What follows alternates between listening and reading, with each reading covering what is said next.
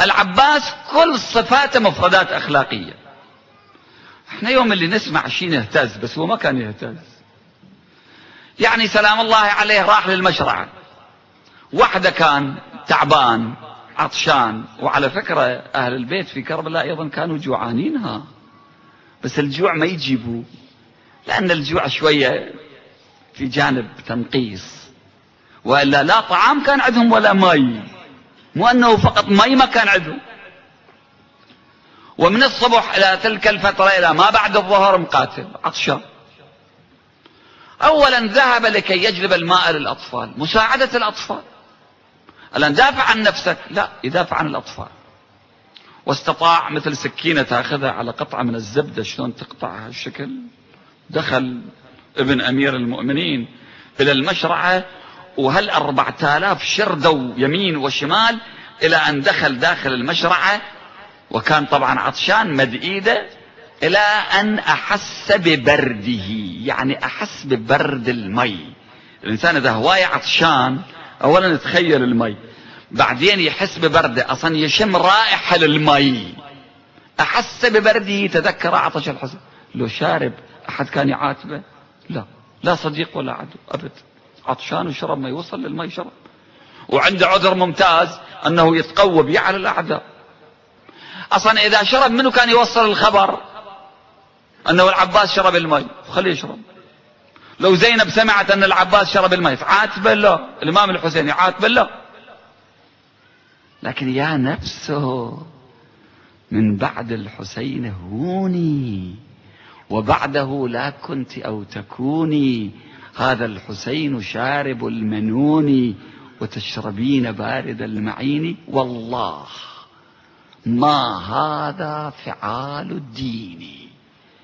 هذا الدين دين الأخلاق. هذا الدين دين المواساة. يعني أنت هنا قاعد وفي النعمة. عندك أقرباء أحبة فقراء مساكين في بلد بعيد عنك جوعانين. متى كل لأنهم جوعانين؟ تسويها؟ قلنا شو علي بيهم؟ خلي أكل.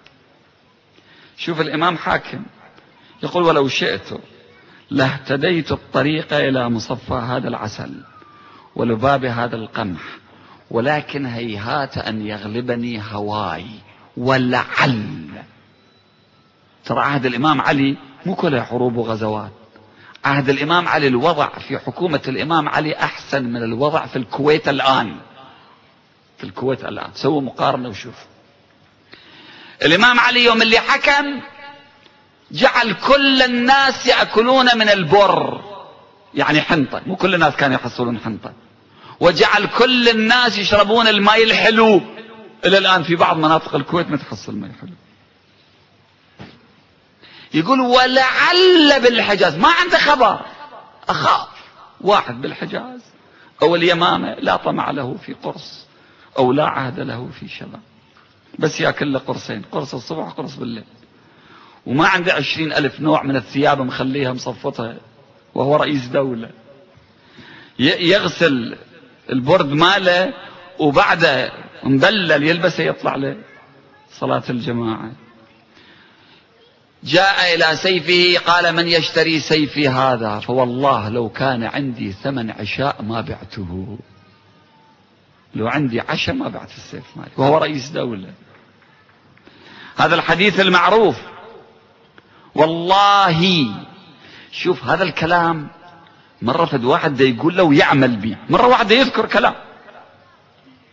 والله ولو والله لو أعطيت الأقاليم السبعة بما تحت أفلاكها على أن أعصي الله في نملة أسلبها جلب شعيرة ما فعل. تدري هذه معصية ولا لا إذا الواحد يقتل نملة؟ بالنسبة لك ممكن مو معصية بس بالنسبة لعلي معصية. هو ده يقول معصية. أنا أعصي الله. هو عادل مع الحيوانات. عادل مع العدو. على شنو أسلب فرد نملة جلب شعيرة؟ يقول له يعطوني كل الأقاليم السبعة بما تحت أفلاكها نملة واحدة ما أخذ من عندها قشرة. فد شعيرة جلب شعيرة ما فعل وما فعل. قلت هذا مو كلام ده يقول خطاب ده يخطب عمل دا يسوي عمل. الخوارج أعداء الخوارج فوتوا عليها الانتصار في معركة صفين. مالك الأشتر قال يا أمير المؤمنين اصبر علي لحظات أنا مخلص وصلت إلى هذا القبة المطنبة لأنه معاوية كان آخر الجيش مخلي نفسه. معاوية اجى قاتل الإمام؟ لا. الإمام كان في وسط جيشه مع جيشه أول من يقاتل. لكن معاوية مخلي نفسه آخر شيء. الجند كله خليه يقتلون نيابة عنه. رجل قدام رجل ورا حتى يشرد. مالك الأشتر يقول ما باقي شيء. ما باقي شيء يا أمير المؤمنين. لكن الخوارج هذول وقفوا قدام الإمام إذا ما ترجع أنا قتلك يا أبو أرجع أرجع. هذول الخوارج. الإمام علي ده يخطب يخربون عليه الخطاب ماله الروايات تقول هكذا. الإمام ده يتكلم قام إليهم أحد. قال الحكم لله لا لك يا علي. الإمام سكت. تابع خطابه. الحكم لله لا لك يا علي. فلما أكثروا سووا مظاهرات في وسط مجلس الإمام. الإمام رد عليهم بكلمة. كلمة حق يراد بها باطل. لا حكم إلا لله. لكن أنتم تقولون لا, لا إمرة إلا لله. لا لازم بالنتيجة الناس يكون عندهم زعيم ملك رئيس. هسه بانتخاب بالتعيين. أما بدون أن يكون غنم بدون راعي ما يصير. أنتم تقولون يعني الله عز وجل يتمثل لكم في شخص ويأتي ويقودكم لا حكم إلا لله يعني أحكام الله. لكن أنتم تقولون لا إمرة إلا لله. هذا مو صحيح.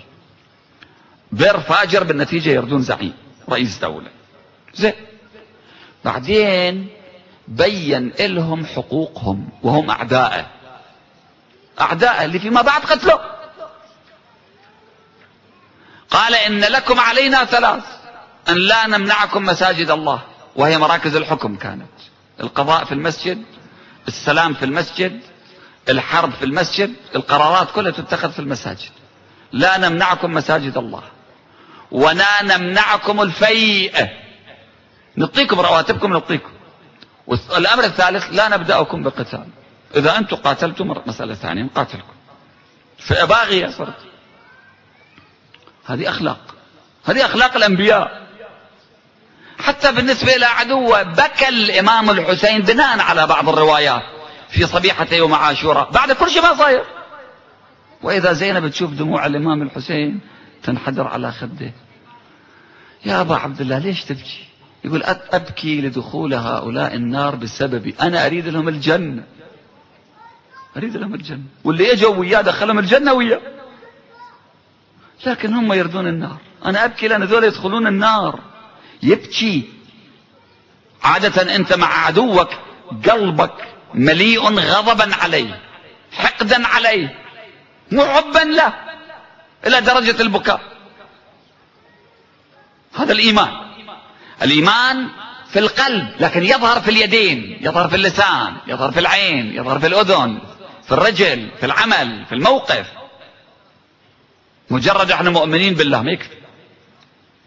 الله يريد أخلاق صالحة ويريد الأخلاق مع الجميع خاصة مع من تختلف معه ويخالفك ويعاديك.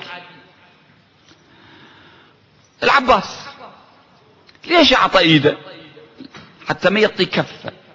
شوف هاي الإيد إما لازم يخليها في إيد يزيد بن معاوية وما يخلون. ليش ما يخلون؟ حقيقة أكو فرد سؤال كثيرا ما نسأل. الإمام علي كان يبقي معاوية كم يوم يأخذ البيعة إليه وبعدين يعزله. قال والله لا أبقي معاوية يومين. أول ما اجى عزله وعزل كل ولاة الخليفة الثالث لأنهم قضموا مال الله قضم الإبل نبتة الربيع ومبدأ الإمام علي والله لو رأيت أنه تزوج به الإماء لرددته إلى بيت المال. فمن ضاق عليه الحق فمن ضاق عليه العدل فالجور عليه أضيق. شنو هذا بيت المال سوته فرهود. شنو هالفرهود؟ ما بقي. ليش ما بقى؟